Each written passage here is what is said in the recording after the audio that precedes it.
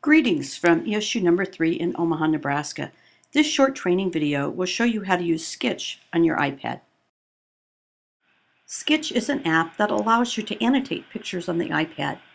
There are a number of ways to access pictures. For this example, we're going to tap Web in the top menu bar and go out on the web and look for pictures. You can see that I have typed the Google address near the top and ran a search for daylilies.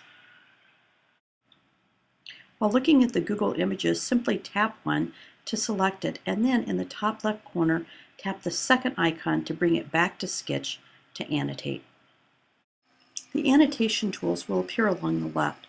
Select the cropping tool indicated here by the blue square so that you can crop the part of the picture you'd like.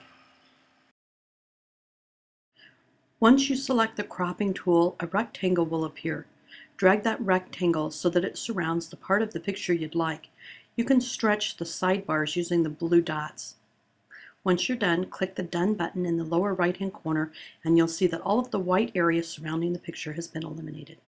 Using the annotation tools along the left, find the alphabet tool and then click on the screen where you'd like to add a label. Once you click, the on-screen keyboard will appear and you can type in the name of the label that you'd like to add. Simply click Done when you're done typing. Once you finish the title, you can drag it where you'd like for it to appear and then just drop it and make the next selection. You can see I've chosen the arrow annotation tool and I've changed the color to white. Let's add another label. You can see I've clicked and I'll type the, the label STEM and then click Done when they're finished. Now remember I selected white for my arrow and so STEM, notice, is in the white color because that's the last color that was selected. It's indicated on the left by the white circle. Again, I'm drawing the arrow to indicate where the stem might be. And now you can see again I'm changing colors. Um, let's go with green. So we're going to select the green color and let's add another label. And this time the label should be in the green color with a little bit larger font. So I click anywhere on the, on the screen and then I'm typing the word filament. I will click done whenever I finish typing that word and then drag that label where I'd like for it to be. After using the green, we'll switch back to the white color and add some more arrows. So you can see I've added a small one here. Um, and using those blue dots, I can stretch those and reposition them on the screen. And now I'll add another arrow. You can see when I stretch out, it gets quite large.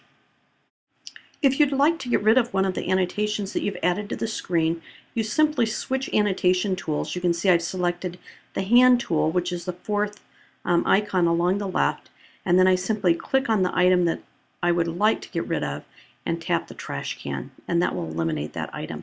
Let's do the arrow. You can see I've selected it by using the hand tool. I could stretch it out, or I could tap the trash can icon along the left and it will disappear.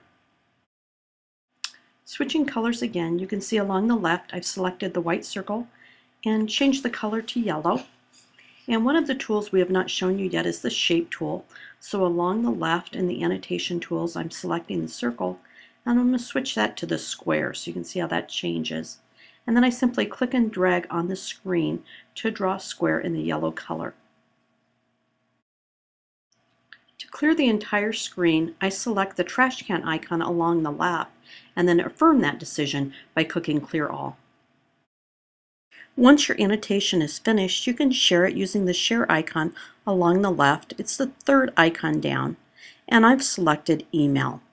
Once I click on the email icon, a window will open and I can type in the email address of the person that I'd like to share this annotation with.